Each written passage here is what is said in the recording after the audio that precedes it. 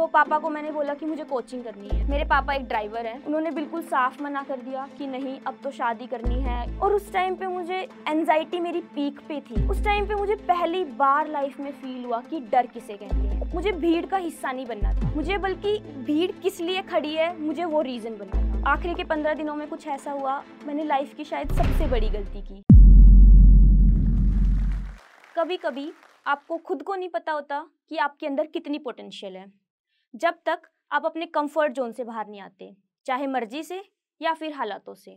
तो मेरा नाम कनू है और आज जोश टॉक्स के माध्यम से मैं अपनी नीट प्रिपरेशन जर्नी आपके साथ शेयर करने वाली हूँ। Somehow I passed my eleventh then twelfth में लाइफ का डार्क फ़ेज़ आया। मेरे मम्मी पापा दोनों की तबीयत बहुत ख़राब हो गई। फिर मैंने सोचा कि जैसे मैंने इलेवेंथ पास की है, अगर मैं ऐसे ही ट्वेल्थ करती हूँ तो उनकी जो होप्स है एक्सपेक्टेशंस है, वो कैसे मीट होंगी? वो जो मुझे पैसा लगा के पढ़ा रहे हैं, मेरे गाँव में ज़्यादा लड़कियों को पढ़ाते नहीं थे, बट मेरे पेरेंट्स, मेरी फैमिली मुझे पढ़ा रही थी तो मुझे लगा कि कुछ करना चाहिए अगर अब इस फ़ील्ड में आ गई हूँ तो। मैंने पढ़ना शुरू किया एंड धीरे धीरे मेरी फिजिक्स फेवरेट बन गई। जिस लड़की के टेंथ में थर्टी फाइव मार्क्स आए थे आउट ऑफ़ हंड्रेड मैथ्स में, उस लड़की की फिजिक्स फेवरेट थी। Then I pass my eleventh and जब मैंने एग्ज़ाम्स दिए तो I was expecting like ninety percent आ जाएँगे ठीक ठीक score but unexpectedly I scored more than ninety five percent family खुश थी, सब खुश थे, क्योंकि without any guidance without any coaching इतना अच्छा स्कोर था। लॉकडाउन टाइम था, उस उस टाइम कोरोना था तो मैंने सोचा कि नीट देना था मुझे बट मुझे बहुत डर लगता था इलेवेंथ से। इलेवेंथ में बुक्स नहीं खरीदी थी तो मुझे बहुत ज़्यादा डर लगता था नीट से। तो मैंने डिसाइड किया कि एक कॉलेज में एडमिशन लेती हूँ बीएससी में एंड आगे टीचिंग में ही करियर बनाऊँगी। देन मैंने पेरेंट्स को बोला कि मुझे बीएससी करनी है। दे सेड कि ठीक है फ़ाइन करनी है तो कर लो बट एक दो साल में ही आपकी शादी करा देंगे। और मैं हरियाणा से हूँ एंड मेरे गाँव में ऐसा होता है कि लड़कियों की जल्दी शादी करवा दी जाती है। तो मुझे उस टाइम ये था कि मुझे शादी नहीं करनी। मुझे कुछ अलग करना था, मुझे सोसाइटी में एक डिफरेंस क्रिएट करना था। मुझे हर उस इंसान के लिए, हर उस लड़की के लिए इंस्पिरेशन बननी थी। वो जो पेरेंट्स सोचते हैं कि लड़कियों को पढ़ा के क्या फ़ायदा, वो तो ससुराल चली जाती है। मुझे भीड़ का हिस्सा नहीं बनना था। मुझे बल्कि भीड़ किस लिए खड़ी है, मुझे वो रीज़न बनना था। तो नीट से भी बड़ा फोबिया मेरे लिए शादी था तो नेक्स्ट डे मैंने नीट की प्रिपरेशन शुरू कर दी। लॉकडाउन था तो तीन चार महीने घर पे पड़ी, देन लॉकडाउन थोड़ा खुला तो पापा को मैंने बोला कि मुझे कोचिंग करनी है। मेरे पापा एक ड्राइवर हैं, उनकी उस टाइम पे फाइनेंशियल कंडीशन बिल्कुल अच्छी नहीं थी बिकॉज़ उस टाइम पे गाड़ियाँ नहीं चल रही थी। तो बट पापा ने सपोर्ट किया और उन्होंने बोला कि, ठीक है, करनी है तो कर लो. एंड उन्होंने मुझे कोचिंग के लिए सीकर भेज दिया। देन सीकर में इतने पैसे लगे नहीं कोचिंग में क्योंकि मेरे ट्वेल्थ में अच्छे मार्क्स थे। कोचिंग ज्वाइन की। नेक्स्ट डे से कोचिंग जाना शुरू किया।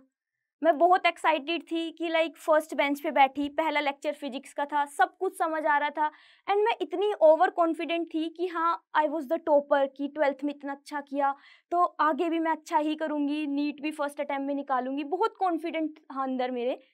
देन हुआ मेरा first mock and first mock में आई स्कोर्ड 150 मार्क्स जहाँ मुझे लगता था कि मैंने तो 700 स्कोर uh, करना है एंड मैं 200 क्रॉस नहीं कर पा रही थी।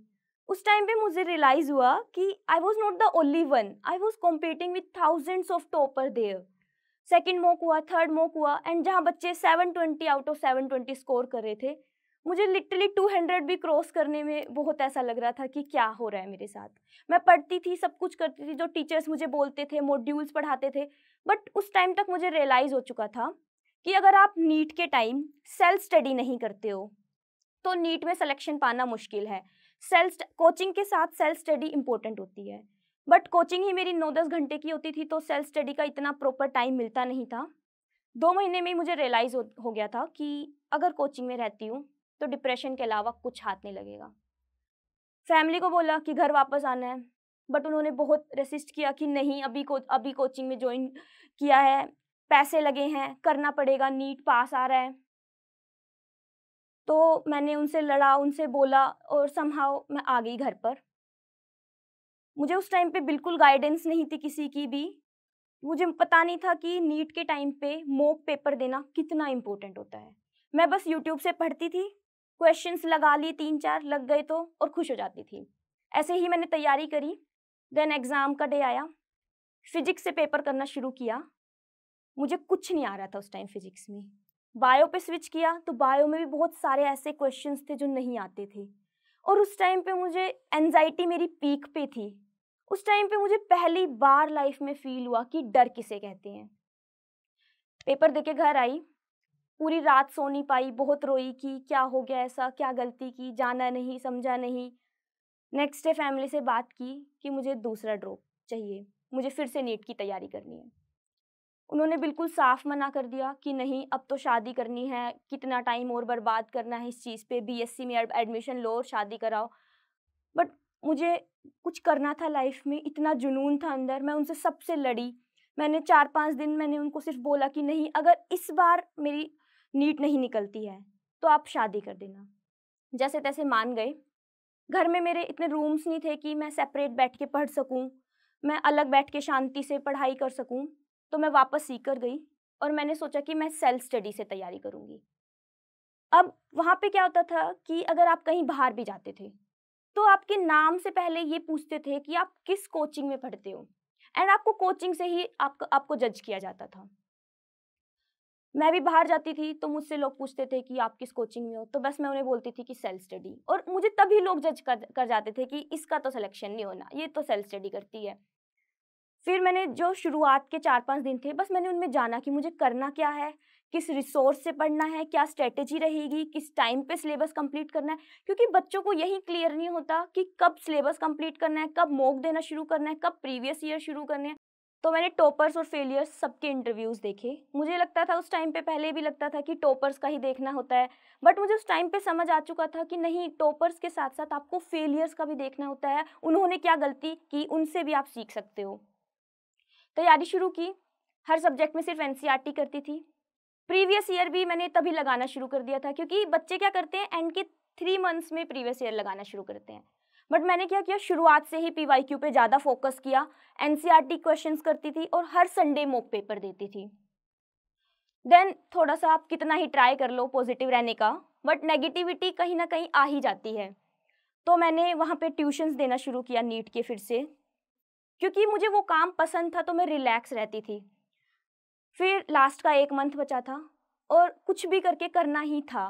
प्रेशर इतना ज़्यादा था फैमिली का प्रेशर स्टडी प्रेशर शादी का इतना प्रेशर था। हर लोग, हर कोई बोल रहा था मुझे कि इस बार सिलेक्शन नहीं हुआ तो देख लेना क्या होगा, इस बार देख लेना क्या होगा, बस तेरे ऊपर है सब कुछ। बहुत प्रेशर था।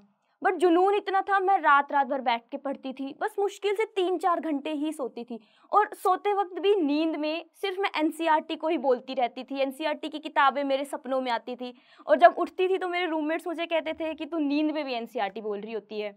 मेरी हॉस्टल वार्डन मुझे बोलती थी कि, बेटा, कम से कम खाते टाइम तो बुक साइड में रख दिया कर। आखिरी के पंद्रह दिनों में कुछ ऐसा हुआ, मैंने लाइफ की शायद सबसे बड़ी गलती की। मैंने अपनी हेल्थ पे ध्यान नहीं दिया। और मेरी हेल्थ उस टाइम इतनी ख़राब हो गई थी कि मैं बेड से उठने की हिम्मत नहीं रख पाती थी। फिर टेस्ट वगैरह कराए एंड पता लगा कि न्यूट्रिशन डेफिशिएंसी है, खाना अच्छे से नहीं खाया, ध्यान नहीं रखा अच्छे से। आखिरी के पंद्रह दिन थे मेरे पास और उस टाइम पे इतना प्रेशर था, सब कुछ था बट मैंने हार नहीं मानी। मैंने सोचा कि नहीं, कुछ भी हो जाए मैं करूँगी, इस बार मुझे सिलेक्शन चाहिए अगर मैं आई हूँ तो।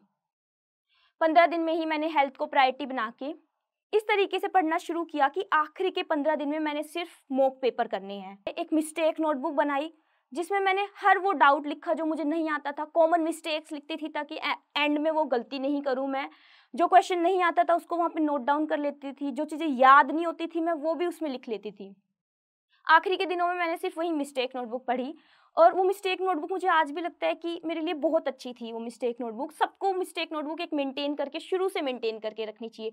मैंने तो चलो आखिरी के पंद्रह दिन में बनाई थी बट मुझे वो लगा कि अगर मैं शुरू से ही बनाती नोटबुक तो मेरा एंड में बहुत फ़ायदा होता। देन पेपर का दिन आया पेपर देने गई एंड उस टाइम पे था कि मैं जो बायो थी, मैं पंद्रह से बीस मिनट में कंप्लीट कर लेती थी। बट उस साल क्या हुआ था कि पैटर्न चेंज हो गया था और मुझे डेढ़ घंटा सिर्फ़ बायो करने में लग गया। और जब मैंने टाइम देखा तो मुझे लगा कि सिर्फ़ डेढ़ घंटे में मैंने बायो की है। मेरी फिजिक्स बचती थी केमिस्ट्री बचती थी क्वेश्चंस को देखना बचता था और मैं इस टाइम इतना डर गई थी और मुझे लगा कि अब मेरी लास्ट ईयर वाली हालत हो जाएगी, मैं इतना डर जाऊँगी, फिर से गलतियाँ करूँगी। दो मिनट बैठी रिलैक्स किया खुद को, सोचा कैसे करना है, क्या करना है एंड पेपर करना शुरू किया। जब एग्ज़ाम हॉल से बाहर निकली तो दिल में ये उम्मीद थी कि हाँ इस बार सिलेक्शन पक्का है मेरा। घर गई मार्क्स कैलकुलेट किए एंड 600 प्लस प्लस मार्क्स बन रहे थे। घर पे सबको बता दिया था कि 600 प्लस मार्क्स है। रिलेटिव्स में सबको पता लग गया था कि ठीक है, इस बार सिलेक्शन हो जाएगा अच्छे नंबरों से। जब रिज़ल्ट आया तो मेरा स्कोर था 577 एंड उस टाइम पे वो 577 देख के ऐसा लगा कि पूरे एक साल की मेहनत, वो सेक्रीफाइस सब खत्म हो गया है। पेरेंट्स की होप्स एक्सपेक्टेशंस कुछ नहीं बचा अब तो बस शादी कर देंगे लोग और जो मैं चाहती थी वो कभी नहीं होगा।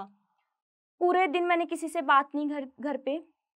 मैंने बस ये देखा कि कहाँ गलती की और उस टाइम पे मुझे पता लगा मैं ओएमआर गलत भर के आई थी। फिजिक्स का पूरा सेक्शन गलत फिल किया था मैंने। फिर रिलेटिव्स के भी कॉल आ रहे थे कि क्या हुआ सिलेक्शन तो हो गया था इस बार। क्या हो गया? अब कैसे रह गई है? ऐसे ही आपने बढ़ा चढ़ा के बात की। ताने बजे, बहुत ताने पड़े मुझे उस टाइम पे। पेरेंट्स ने पर मुझे बहुत सपोर्ट किया।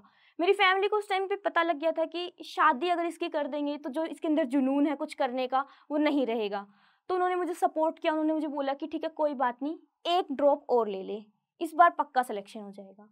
बट मुझे अंदर से ऐसा हो गया था कि नहीं जो मैं बेस्ट दे सकती थी जितना मैं कर सकती थी ना मैंने उतना किया। और अगर अब नहीं हुआ तो आगे मैं कर नहीं सकती हूँ। इससे ज़्यादा पोटेंशियल थी नहीं उस टाइम पे। लगा कि नहीं इससे आगे मैं कर नहीं सकती हूँ। सो so, मैंने उस टाइम पे डिसाइड किया कि मैं बीडीएस में एडमिशन ले लूँगी। मैंने काउंसलिंग कराई and I got H P G D C Shimla अब आपको पता है society prefers M B B S over B D S अगर आपका नीट में सिलेक्शन हो जाता है तो इसका मतलब होता है एम बी बी एस और अगर आपका नीट में सिलेक्शन नहीं हुआ, आप फेलियर हो तो मतलब आप कोई और कोर्स ले रहे हो। एंड सोसाइटी थिंक्स कि कोई और कोर्स लेना फेलियर ही होता है आपके लिए। मैं गई कॉलेज में, मैंने देखा बीडीएस में क्या होता है प्रोफेशन को जाना, समझा सब कुछ, तब पता लगा कि आप किसी भी दो प्रोफेशन को कंपेयर नहीं कर सकते। हर प्रोफेशन अपनी जगह इम्पोर्टेंट है, हर प्रोफेशन की अपनी अलग इम्पोर्टेंस है। बीडीएस मुझे अच्छी ब्रांच लगी, क्योंकि इसमें आप प्रैक्टिकल वर्क ज़्यादा करते हो, आप चीज़ों को रटते नहीं हो, बल्कि आप समझते हो, पेशेंट्स के ऊपर काम करते हो। थर्ड ईयर में ही आपका क्लिनिक शुरू हो जाता है, एंड मैंने जब काम करना शुरू किया, मैं आर्ट एंड क्राफ्ट दिखती है, आप कैसे काम कर रहे हो, वो चीज़ देखी जाती है यहाँ पे, एंड अब चीज़ें अच्छी है, मुझे कोई रिग्रेट नहीं है बीडीएस लेने का, and life is not always fair with you. Sometimes कुछ अनएक्सपेक्ट चीज़ें, अनएक्सपेक्टेड चीज़ें हो जाती हैं एंड आपको उनको एक्सेप्ट करके मूव ऑन करना चाहिए। And sometimes these unexpected things becomes the best part of your life मैं जोश टॉक्स को भी थैंक्स बोलना चाहूँगी। मेरी प्रिपरेटरी फ़ेज़ में भी मैंने, मैं वीडियोस देखती थी स्ट्रेटजीज देखती थी इंटरव्यूज़ देखती थी टॉपर्स फेलियर्स के। सो so, और इन्होंने मुझे चांस दिया यहाँ पे बोलने का अपनी स्टोरी शेयर करने का। So thank you Josh Talks. And best of luck for all the NEET aspirants जो 2024 में अपीयर करने वाले हैं। अपना बेस्ट देना 100 परसेंट देना बस कोई रिग्रेट नहीं रहना चाहिए मन में।